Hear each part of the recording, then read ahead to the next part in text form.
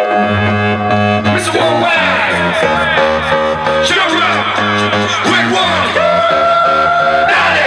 last time I shed a tear was when my father died, but now he's good up in so I'm gonna make this song cry. Les de match, vous pas, ça va?